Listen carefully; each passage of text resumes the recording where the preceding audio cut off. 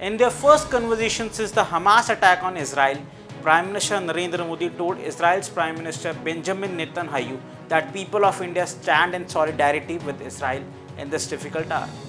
The friendship between Israel and India goes way back. This friendship is characterized by strong diplomatic ties, shared democratic values, and cooperation in various fields, including defense and technology.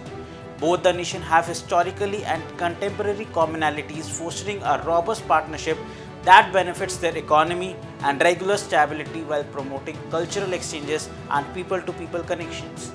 But there was a time when the love and friendship between these two nations got sore in order to remain in the good books of Arab state. In an atmosphere where Pakistan made every effort to paint India as anti-Muslim and tried to project the Kashmir issue as same as Palestine issue.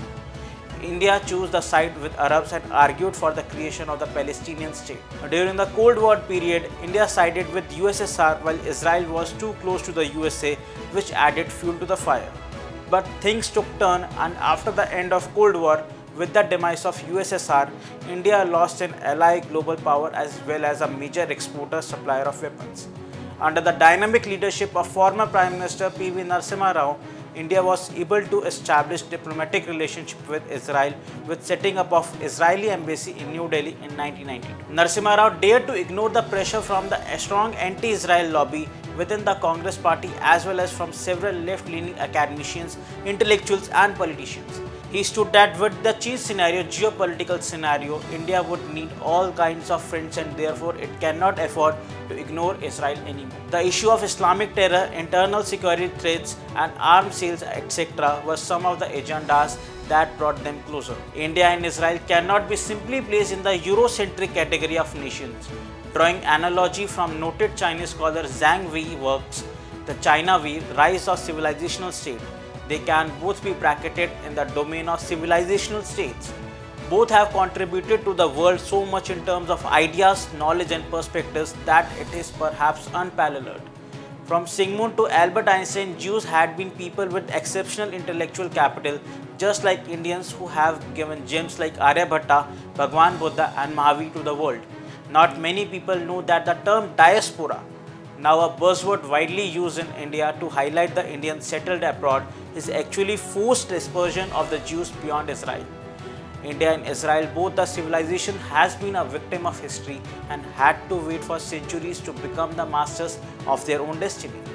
For the Jews, the destruction of the second temple on the Temple Mount in Jerusalem by the Romans in 70 AD marked the fall of Judaism.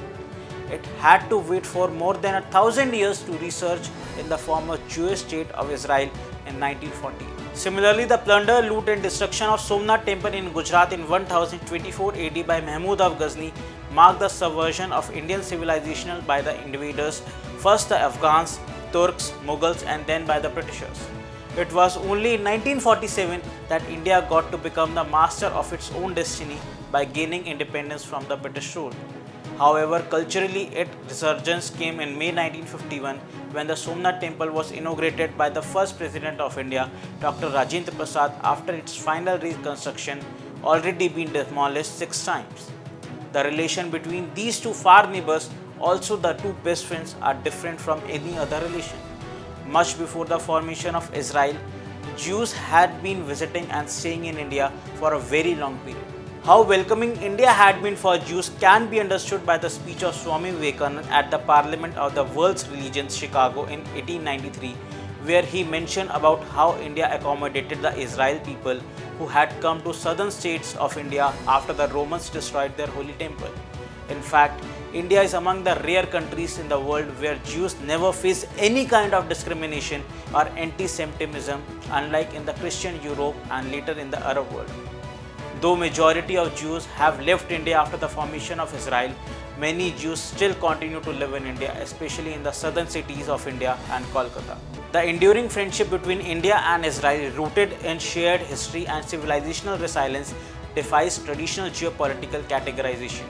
Despite initial challenges and the global pressure, the two nations have forged a deep bond that transcends political dynamics, marked by intellectual contribution and mutual respect.